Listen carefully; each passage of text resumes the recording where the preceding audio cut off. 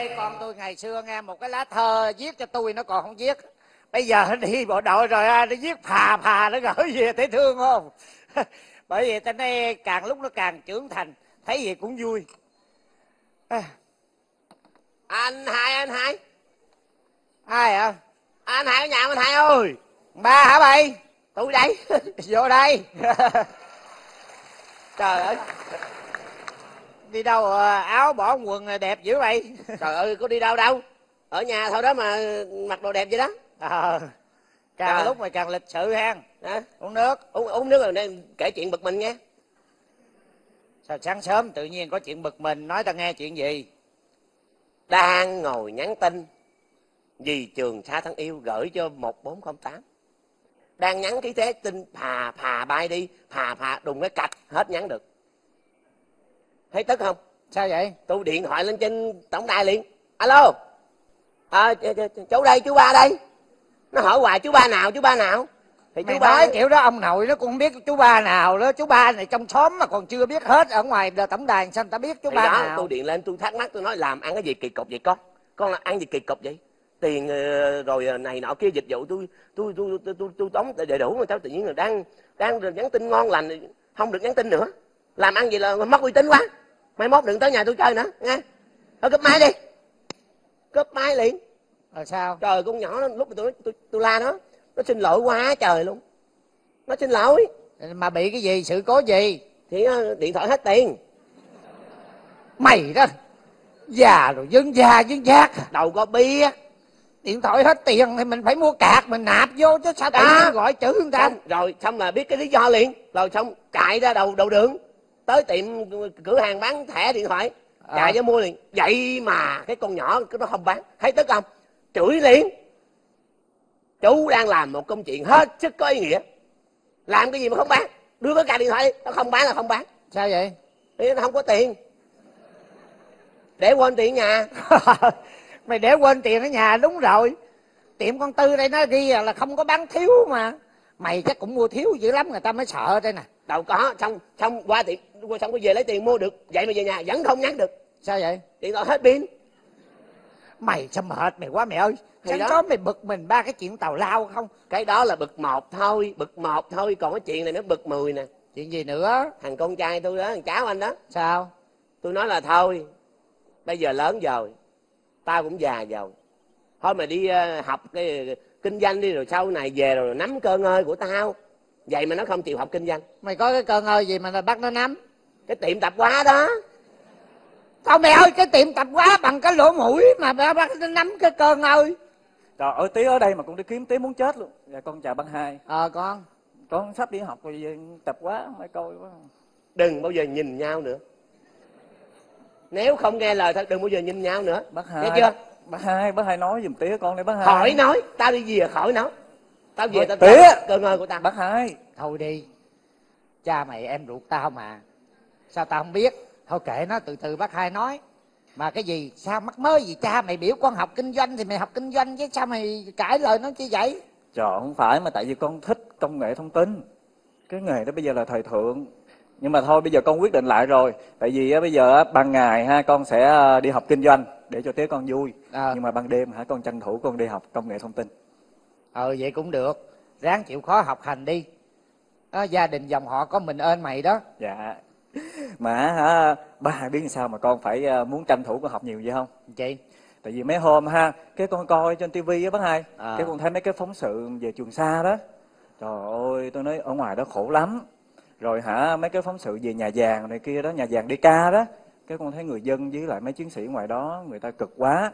Mà mấy cái anh chiến sĩ đó làm mấy người đồng trang lứa con không mà phải gác lại cái chuyện học hành để mà đi thực hiện nghĩa vụ quân sự đối với ờ, tổ quốc đó rồi bắt nghỉ đi. Bây giờ đi nghĩa vụ quân sự mấy năm xong đi về làm sao? Không có nghề ngỗng gì hết phải học lại từ đầu đúng không? Đó rồi xong vậy đó. Cái uh, biết bao nhiêu hoài bão bao nhiêu ước mơ. Bây giờ đối với nhiều người mà còn mà ở dưới quê đó cài ruộng đó bây giờ về nhà họ có gia đình rồi này kia nữa. Cái con thấy vậy ờ, cực quá cho nên con ráng học. Bày nói vậy cũng phải. Bác hai nói bày nghe. Nhưng mà bác hai biết nghe. Có nhiều ờ, chiến sĩ của mình á, sau khi mà xong công tác rồi đó nghe Về á, vẫn ờ, bắt đầu đi học lợi nè vẫn kiếm việc làm đàng hoàng. Bởi vì á, ta nói bay nghe bởi vì chính vì vậy á, ta thấy ở trên đài nghe hổm đài á cái chương trình rần rần rộ rộ vì trường tha thân yêu đó nghe. Trời ơi tao phải hết biết luôn mày. Bác già rồi mà bác vẫn thấy thiết thực nha. Cái đó đó là cái động viên anh em. Bay đó tao già mà vậy bay đây nè. Cái lớp trẻ của bay nằm nấu cháo điện thoại với người yêu cả mấy tiếng đồng hồ được. Mà chớ chi nghĩ tới cái chuyện đó. Có mà. Có đâu mà có. Có con có nhắn tin chứ bộ.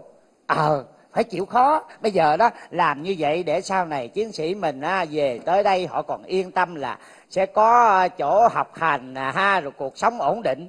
Đúng không? Dạ. Đó nghe lời bác. Ha, mày cứ học hành cho giỏi à, rồi còn làm thì công việc đó có ích cho xã hội nghe không? Thì đó con hả? Con mới thấy là con quá may mắn. Đó con có điều kiện này có ba con lo cho con đi học bởi vậy cho nên con phải ờ, tranh thủ học con ráng học. Ờ vậy Đó. được á. Mà là con nói nghe bác Sao? nghe. Bây giờ á bác có muốn con nghe lời của ờ, ba con không? Với lại hả cho con thực hiện nghĩa vụ ờ, coi như là giống như tấm lòng của mình đối với trường sa không? Muốn cho sao muốn? Bác cho con trăm ngàn mày đừng có vô duyên ngay cha con mày cái lộn tự nhiên ta tốn trăm ngàn. Không phải. Ai ai ai chỉ cái thói xin tiền bác hai vậy hả? Con tưởng nãy giờ xin tiền là cái gì? Không có. Có bà không có ai chỉ cái- thói đi xin tiền người lớn xin tiền mày làm cái gì mày nói cho cha mày biết đi. Trời ơi tiếng tiền làm cái gì? trời ơi tiếng từ từ con nói. Mày nói liền đi. Tại vì con còn là học sinh con đâu có tiền đâu. Ờ. cho nên con muốn xin tiền làm cái gì? bác hai nạp tiền điện thoại con nhắn tin ủng hộ trường sa. Cái đó đúng rồi đó đúng làm. rồi mà mày la làm chi? Bây giờ tao làm. nói cho mày nghe. Bây giờ cháu tao nó xin tao. Ha tao là bác nó. Anh cho nó được. Tôi cho cũng được vậy. Anh biết rồi. Mày cho cũng được nhưng anh là bác. Ừ. anh lớn. Ha mày để tao cho cháu tao đi. Không phải là nó không xin tiền cha nó được nhưng mà người lớn mình cho tiền á. À, vì nó làm việc ý nghĩa. Mình muốn cho nó biết cái việc ý nghĩa đó là mình không có tiếc cái gì hết đúng không Dạ. con? Bởi vậy tao ráng cố gắng. À, dù gì đi nữa mình cũng phải mừng đây nè mày biết cái điện thoại cù bắp của tao nha. Mà tối nào tao cũng nhầm tao nhắn tin vui lắm. Đây nè. Mày thấy tin nhắn của tao tao gửi quá trời. Đó.